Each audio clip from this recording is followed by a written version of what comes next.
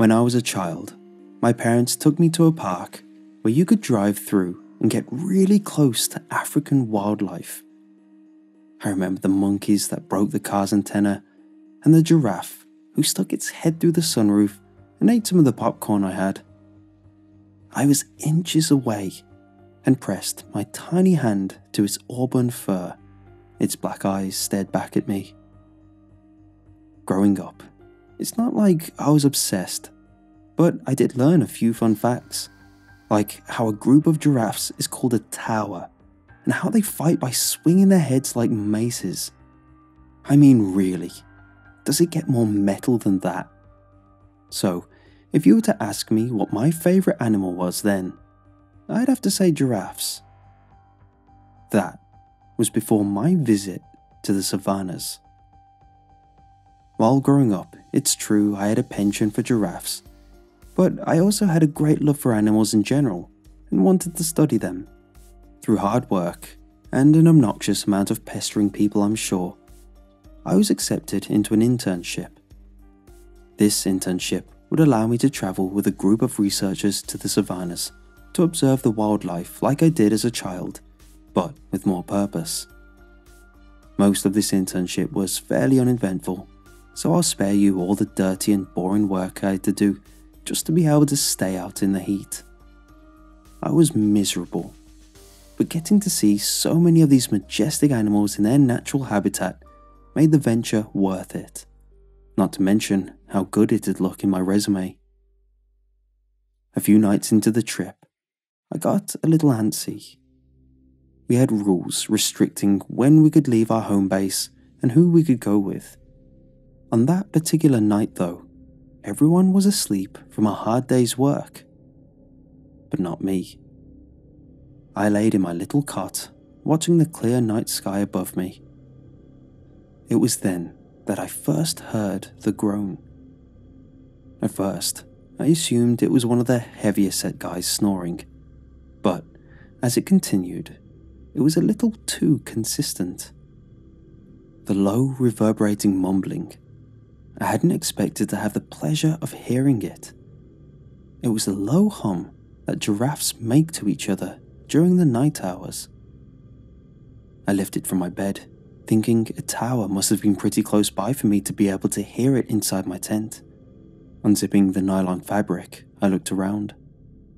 I wasn't really afraid, as from what I knew, giraffes were pretty peaceful animals.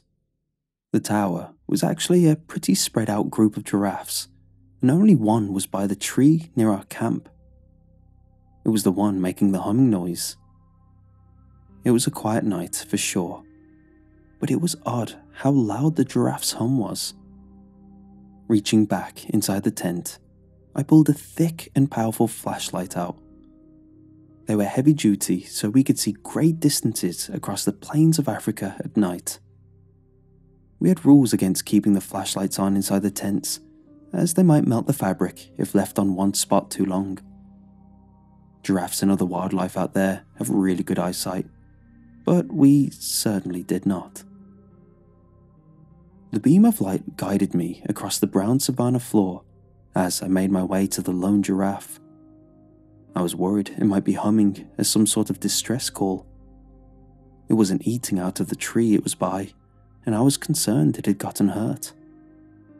Getting close enough, and with the assistance of the flashlight, I could see small scrapes peppered around the giraffe's legs. They were flesh wounds, blood still glistening in the powerful light. I was upset that such a gentle creature was attacked but it wasn't surprising. Not until I found the culprit laying at its feet. A lioness laid battered on the hard ground. There were no cuts on it, but I could see several spots where the bone was broken and patches of flesh were caving in. Its head was a mess and barely recognizable, like it had been hit by a bowling ball or mace. Stunned, I scanned the lioness with the flashlight over and over, and I saw that she was still breathing. The giraffe's breathing was much louder as its snout peeked into my view. It was huffing air as it moved along the lioness, taking in her scent as it trailed along. It was reminding me of another animal, but at the time, I couldn't put my finger on it. The giraffe trotted around the lioness until it got to the head. There, the giraffe buckled its legs to lay on the ground like a resting camel.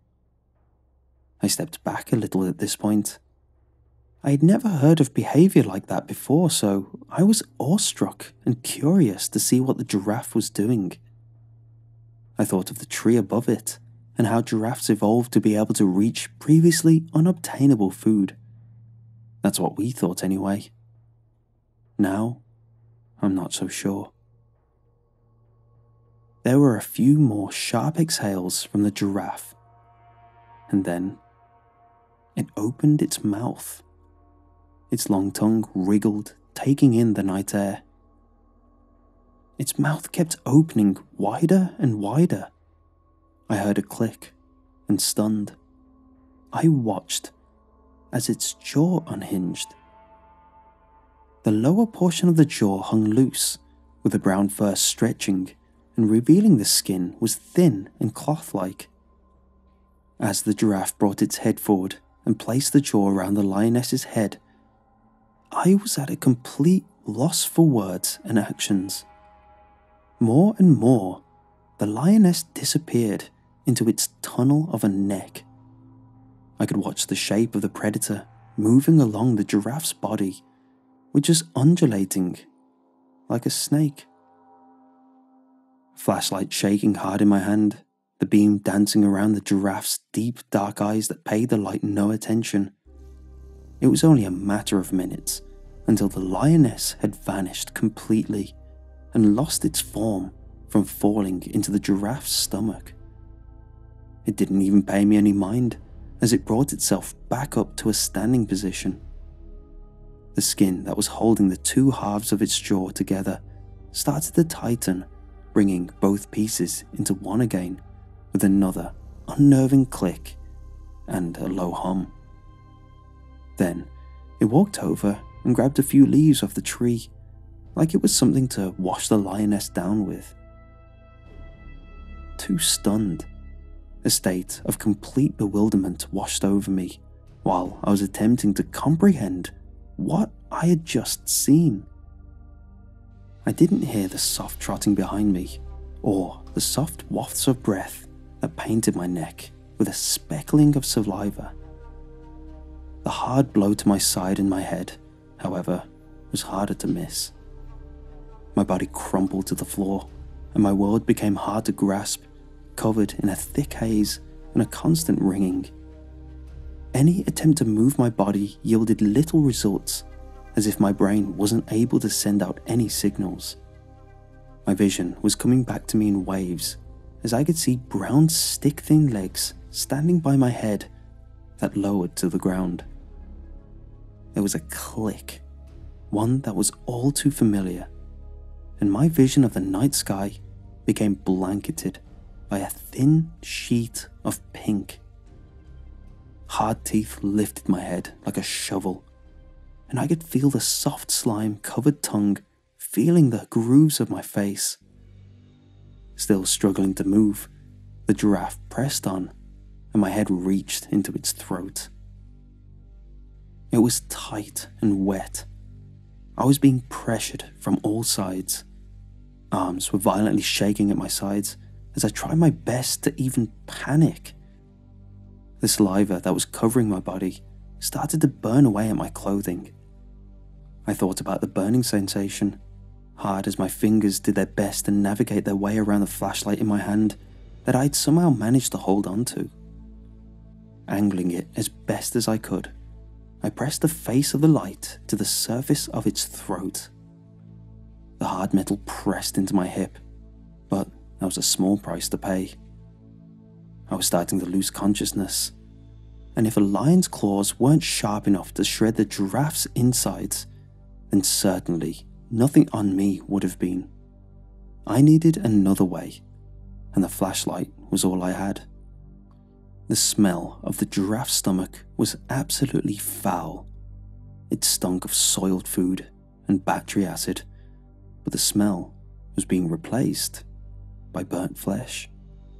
I was moving along, but I was able to keep the beam of the flashlight pressed onto one point in the giraffe's neck, just long enough for it to sear. I remembered that when snakes have trouble swallowing their food, they tend to regurgitate it, so that became my plan. The giraffe attempted to lift its head, but with my weight, it was unable to, and instead it rose up off its feet. I could feel the muscle relax around me, and faster than I'd been swallowed, I was spat out. Covered in saliva and smelling like I might have come out the other end, the giraffe appeared to have lost interest in me. So there I laid. The initial blow and the burns its interior acid left on me were enough to keep my body on the ground until sunrise, and even then, only when my research team found me was I able to become mobile again.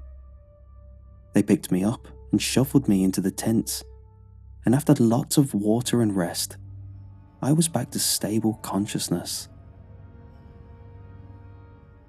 Nothing much was left of the experience. Well, other than a deep purple welt on my side, which hid three broken ribs. I was sent back home the next day for proper medical treatment after having a long discussion with the lead researcher. I told him everything about what happened, and while his face was plastered with confusion, he didn't immediately write me off. I was told, once I get better, that he'd consider bringing me back on, maybe even paying me. I think that last bit was a joke. He did leave me with a bit of advice, however. He told me to keep this to myself until I could help him research it further.